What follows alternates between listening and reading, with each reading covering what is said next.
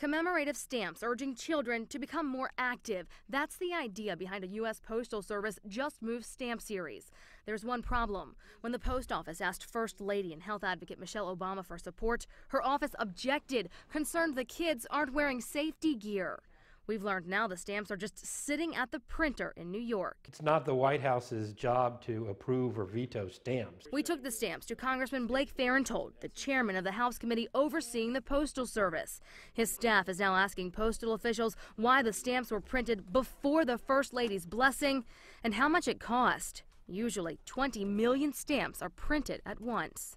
The Postal Service is deeply in the whole financial hole, and wasting money like this is not a good thing. Sources tell me the White House administration took issue with a stamp showing a skateboarder not wearing knee pads, a cannonball against the rules at many pools, and a child doing a headstand without a helmet. I wouldn't have thought about the security gear at all.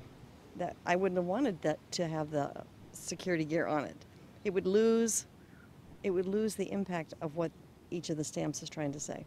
The Postal Service could sell the stamps and risk Mrs. Obama criticizing them. They could destroy them at a huge loss. A Postal Service spokesman tells me there hasn't been a decision made. He says officials will have a better idea closer to the end of the year. In Washington, I'm Jacqueline Fell.